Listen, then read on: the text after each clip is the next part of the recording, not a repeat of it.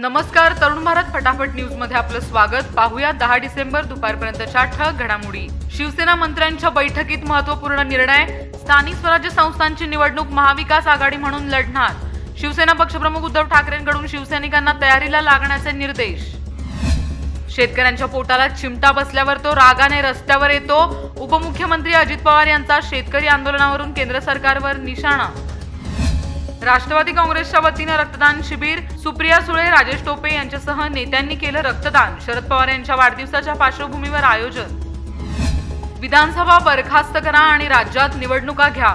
मग दूध का दूध आणि पाणी का पाणी होऊन जाऊ देत भाजपा नेते अतुल भातकळकरांचं जलसंपदा मंत्री जयंत पाटील यांना आव्हान. साई संस्थांनं महिलांच्या ड्रेस कोड बाबत लावलेला बोर्ड हटवण्यासाठी भूमाता ब्रिगेड आक्रमक.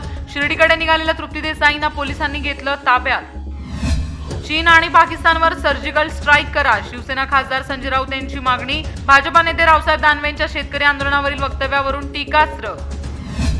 पंतप्रधान मोदींच्या हस्ते नवीन संसद भवनाच्या उभारणीसाठी पूजा. सेंट्रल विस्टा प्रकल्पांतर्गत उभारण्यात येणार नवीन संसद भवन. पोस्टाच्या बचत खात्यावर आता किमान पाचशे रुपये बॅलन्स ठेवणं बंधनकारक. उद्या अकरा डिसेंबर दोन हजार वीसपासून देशभरात लागू होणार नवा नियम. रावसाहेब दानवे यांना आता घरात घुसून मारावं लागेल. प्रहार संघटनेचे नेते बच्चू कडू संतापले. शेतकरी आंदोलनात चीन पाकिस्तानचा हात असल्याचा दानवेंचा अजब दावा. जुनी पेन्शन योजना लागू होण्यास अडथळा असणारी दहा जुलै दोन हजार वीस ची अधिसूचना रद्द. नोव्हेंबर दोन हजार पाच पूर्वी नियुक्त शिक्षक शिक्षकेतर कर्मचाऱ्यांना दिलासा मिळण्याची शक्यता.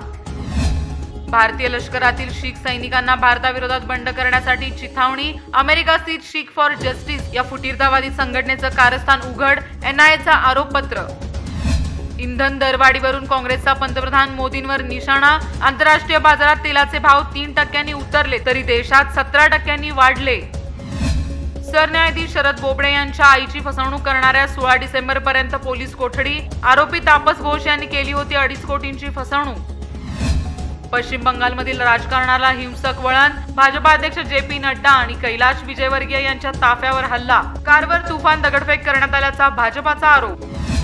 देशात गेल्या चोवीस तासात वाढले कोरोनाचे एकतीस हजार पाचशे बावीस नवे रुग्ण तर चारशे बारा रुग्णांचा मृत्यू. एकूण कोरोनाबाधितांची संख्या पोहोचली सत्त्याण्णव लाख सदुसष्ट हजार तीनशे बहात्तर वर.